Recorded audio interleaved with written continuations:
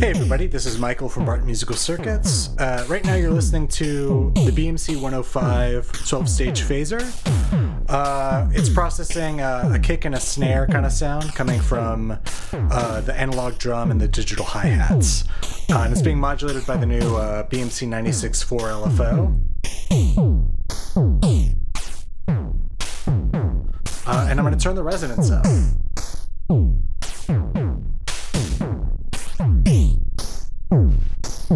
Uh, so, uh, as you can hear, our, our frequency is going up and down, and it's going to accentuate different parts of this sound as it's doing it.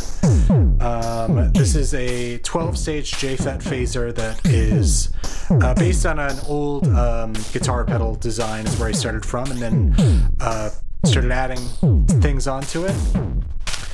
Uh, it can also be used as a four stage phaser with just a, a single uh, jumper, pin jumper added to the PCB.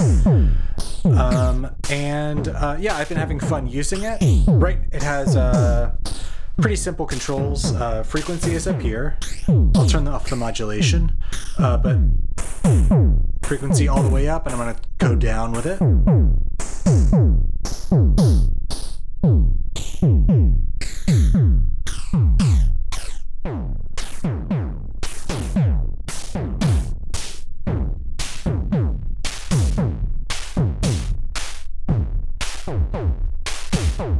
I tried to make the control pretty wide, so for any single sound, there's probably gonna be a lot of dead space on that knob. Uh, but just wanted to make sure you could dial something out on most sounds. Uh, and then this is our control voltage input that modulates the frequency. I'll set it to a fast.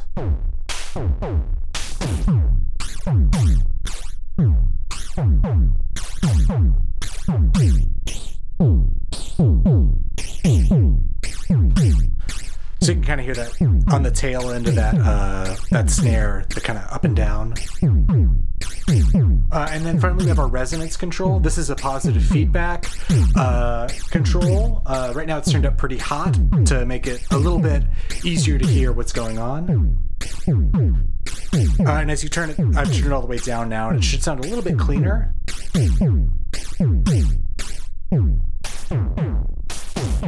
Uh, and I'll turn it up again.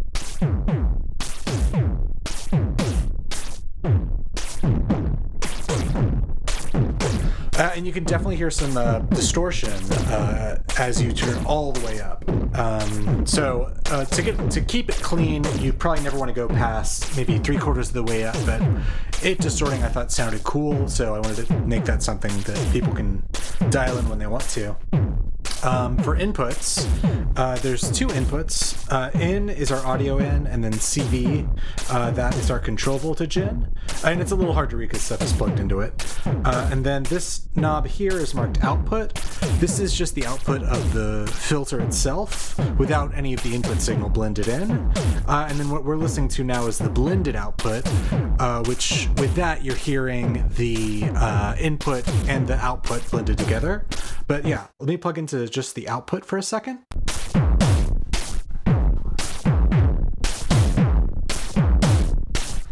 Uh, so it can, it's still kind of an interesting sound, but uh, it's a little bit harder to hear what's going on when it's not being uh, mixed with the original signal, um, which is normally how phasers get used.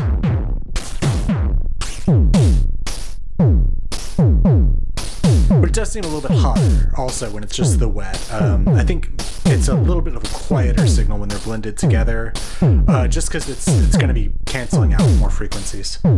Um, so yeah, I'm going to set up the oscilloscope and show you what this is doing to a regular waveform.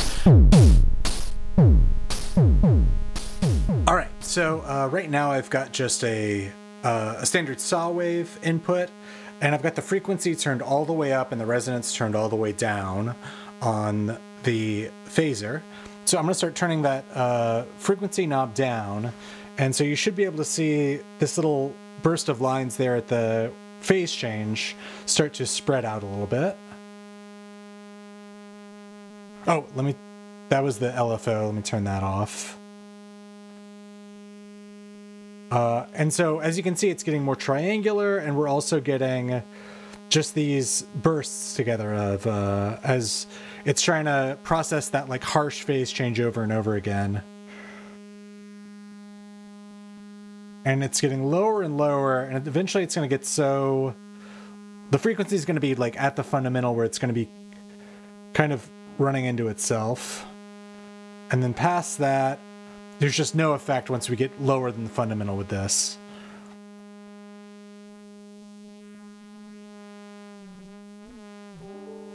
Uh, so that's just me uh, messing with this by hand.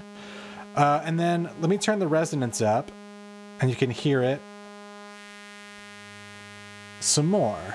Uh, so this should be a, this will be a very different sound.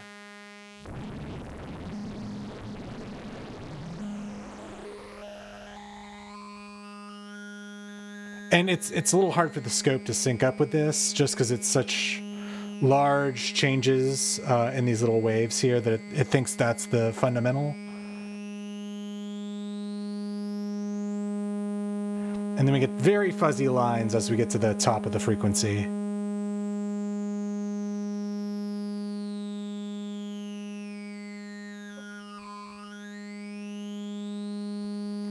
And I actually have my input attenuated down just a little bit on this. Um, let me, hold on. I'm going to turn up the input a little more. And with the resonance cranked and the input turned up, you can start to see these flat lines on the top and bottom, uh, that that is just uh, some clipping. Uh, which is interesting also that when it's clipping, there's no phase changes going on. So this can also give you a, a, chance to create some kind of dynamics in the in the sound where you'd have no phasing at the start of a waveform, and then as it decays down, uh, you'd start to get a little bit of phasing. And with the resonance cranked up, around the fundamental, it starts getting very hairy, very chaotic. But as you turn that resonance down, uh, it just starts sounding like a regular kind of phaser sound. Uh, and right now we are looking at just the uh, just the output of the filter itself. Uh, here's the blended output.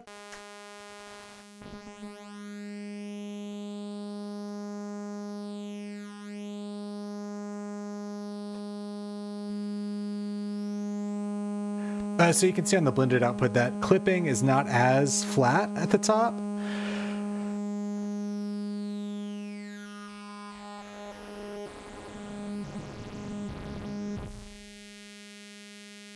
Um, but yeah, uh, so uh, that's that's this module. You it uh, makes things sound like this. Uh, uh, thanks so much for watching, and uh, I should have more designs coming out soon. Um, yeah,